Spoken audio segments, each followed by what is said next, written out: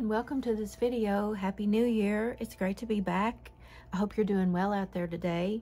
I've been going through my piles of things that I've collected over the past months and I've put them all together in these little packets. This one is the one I've decided to take out and work with. I'm going to use these washi tapes with it. I found this little photo album cover when I was going through and organizing all of my old photos and this used to hold photos and I carried it in my wallet. I'm going to be making a journal out of this. These are scraps from other journals and projects. They were all the right colors, so they'll be going into this little journal. If you're interested at all in that, I would love to have you follow along and spend a little time with me while I make this journal and just showing you how I went through and what I did to organize. Sometimes, I don't know, maybe this is helpful to see how we all do this differently, but I took things that were of the same color, um, and usually it was something inspiring me, like this tag that came inside of something I purchased, I think, and I thought, well, that's really pretty and would make a nice journal. So I took all my scraps that were that color and I put them in a bag together. So this will be in a future video, making a journal out of that. Um, this was a framed print that I got from the Dollar Tree and I thought this is a really pretty flower and so I took apart the frame and put it together with some scraps and some different uh, things that will go nicely with that, like a washi tape box. Um, and somehow that will become a journal. This is a Kleenex box that went really well with, sorry about that noise, but it went really well with this fabric that I got at, I believe, the Dollar Tree. And so it inspired me to um, think about making a journal with these colors. So we'll be doing that in the future. And this was just a project I was working on and haven't finished yet. This is a pack of a whole lot of things that I had found and collected. And um, so there will be a journal coming along at some point with these colors and all of this ephemera and this one with purple and sort of um, darker colors. This has some really pretty stuff in it, so I'm excited to to um, dive into making this one at some point and seeing how that turns out. So just sharing this in case you are sitting around with just piles of stuff that you've collected and they're doing more to confuse you than than inspire you. This really did help me to go through and and put these things in an organized uh, fashion. And since I did this, I've already started collecting new stuff, so uh, I think this will always be a work in progress of always getting things organized. And so I have all of these that um, will be future videos. So I hope that was a little bit helpful. So now to this one, our project for today. I'm not, I'm not exactly sure what all is in here and I would like to pretty much work with what I have so this will be my cover and trying to decide if I want to have it be a journal that flips up this way or if I just want to go ahead and do it this way. I don't know, I kind of like the idea of making it like this. I've never done that before, so I think I'll do that. And these are all of our bits and pieces that have found their way in that envelope. So this will become the signatures. I'm gonna keep this pretty simple, just mainly creating the shell, give you some uh, maybe inspiration of, of using up some of your scraps and other little things like this that you might have hanging around your house. So um, let's get started. Well, all right, here we go. How's the weather where you guys are? It is snowing like crazy here. And we have already gotten probably, I don't know, several inches. My husband and I were watching a movie last night and he got a message that his business was closed today. And we looked out and was crazy how much snow we'd gotten. I'm going to ink the edges of this just a little bit, give it a kind of a distressed look.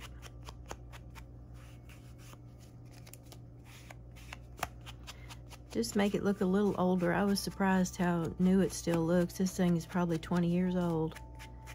It was in a protective sleeve, so it kind of kept it looking new. I don't know if you can tell, this is made out of like an embroidery fabric.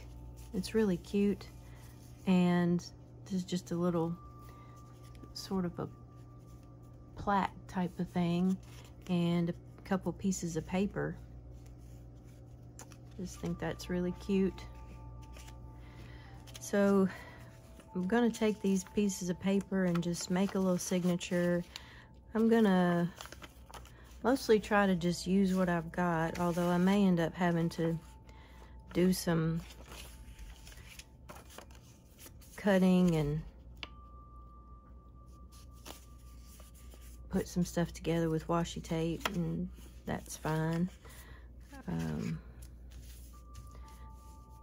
I thought that I would end up putting this little thing in maybe my bee journal. I don't know if I will or not, but it's black and white too. I know, I haven't decided what I'm going to do with this yet.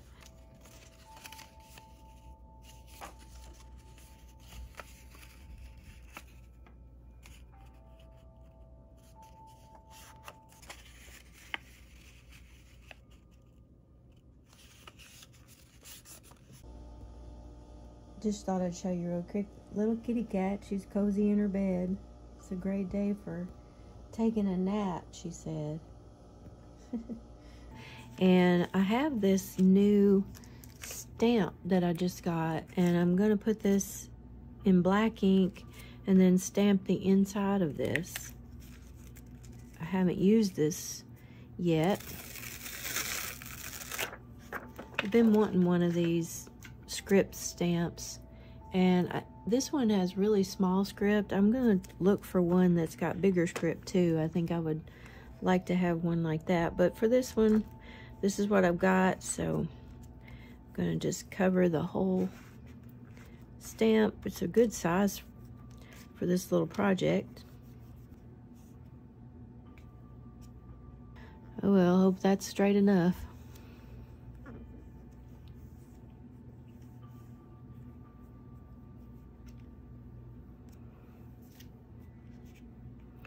Well, that's pretty cool.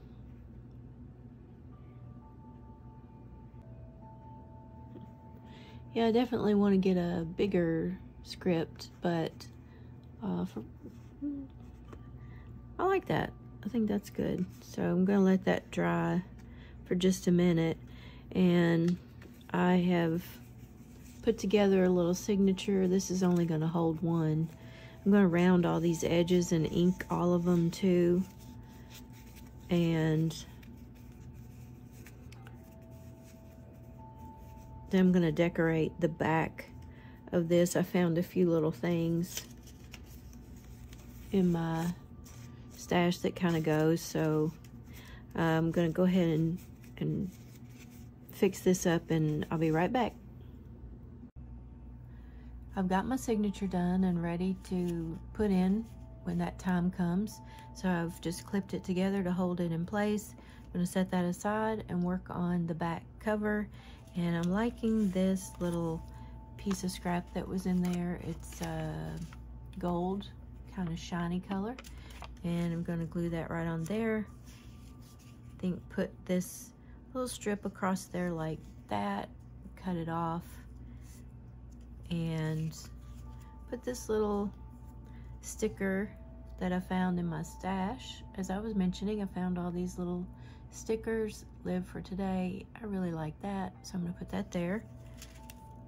And I'm going to put these little arrows on this heart like that and snug it underneath here. So it kind of mirrors the front of the journal. I'm going to stick all that down and I will be right back. I got that on. Turned out pretty good. I like it. I alternated the hearts so it kind of I don't know that seemed to go better than putting it on the same side.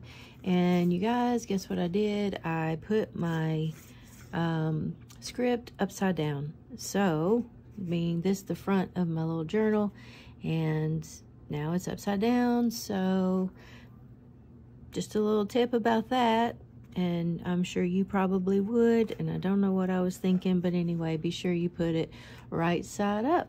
So, what I'm going to do is just uh, cover most of it up, and uh, that's okay. And next time, I'll be sure I get it right side up. Uh, but that's what happens. These things, these things happen.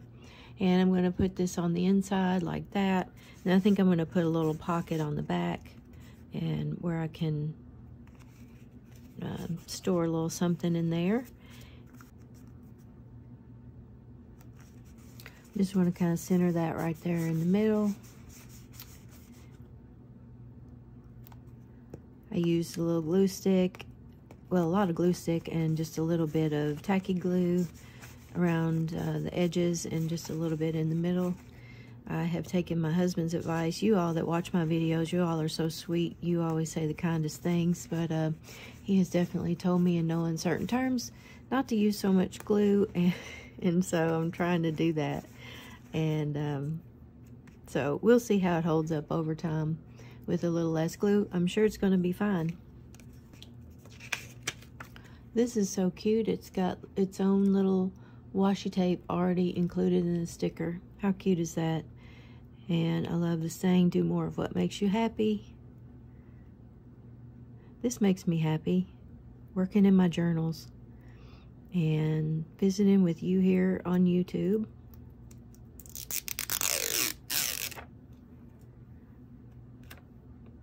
I wish we could be in person and visit together and we could share our supplies and you know we used to do things like that. It was a long time ago. Scrapbooking mostly scrapbooking classes and everybody would share their supplies and spend the day together eating snacks and crafting together. We just don't have a lot of that stuff in my we just don't have a lot of that in my area anymore. But I really like spending time with everyone on YouTube. My video shut off on me and I didn't know it, so um, I was just talking away and uh, not recording, but I made a little pocket here. And um, I decided to do a tag out of the B paper and I had this uh, Be Yourself sticker, so I'm going to put that there.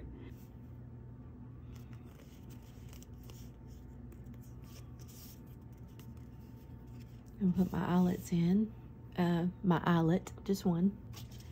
Found this ribbon, which will, I think, make a little nice tassel.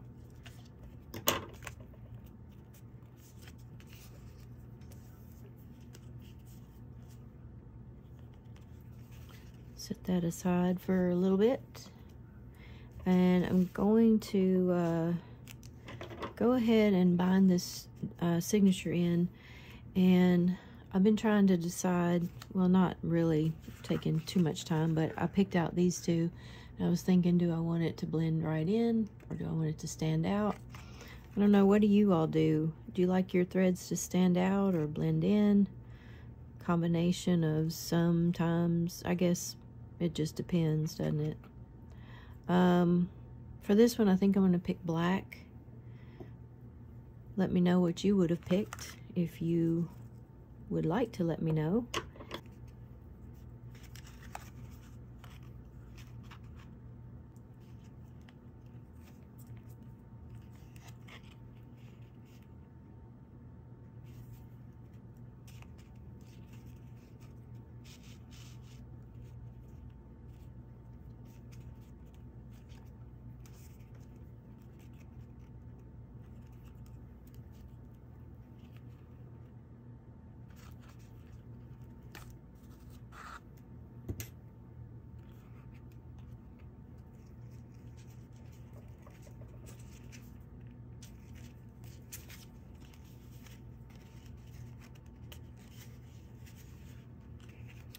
A lot of times I put writing paper on the back of these white pages, but I decided not to do that this time and just leave them blank.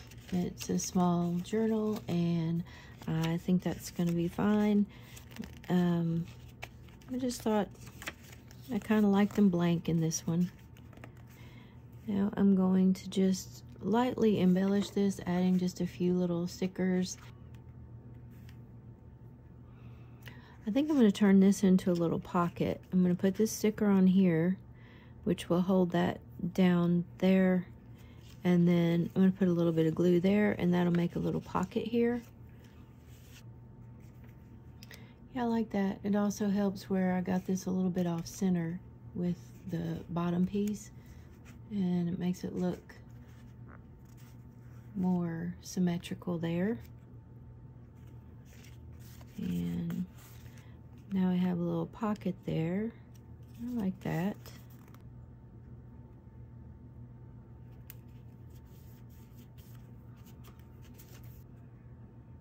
I'm going to do the same thing here and make this a little pocket.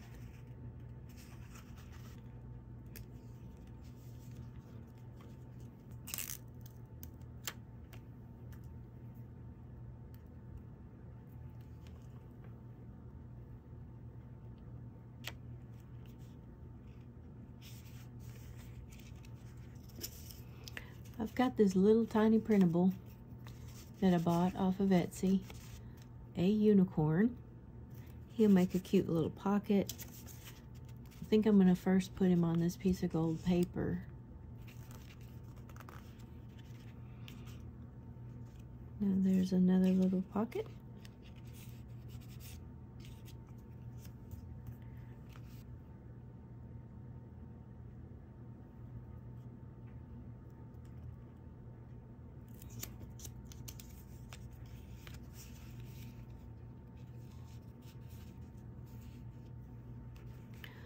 Well, I suppose I could go on and on, and I've still got pieces here that I can fill in later and make some more, but I just wanted to do the basic um, putting this together a little bit with you guys, and um, I've enjoyed it.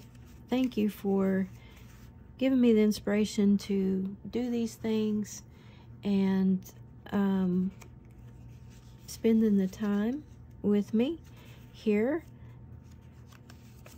and so this is it so far. Just a simple little journal. And with the little tag, set it right in here. And for a closure for this one, just a simple string tie. is what I'm going to use. And that'll hold it closed. I like these little journals. I know everyone doesn't, but I think they're great little companions to uh, my bigger journals. And I enjoy them. I enjoy making them. And for all of those of you who also enjoy them, I hope you enjoyed this video. I'd like to thank you so much for being here with me to the end. I hope to see you in the next video. Thank you. Have a great day. Bye-bye.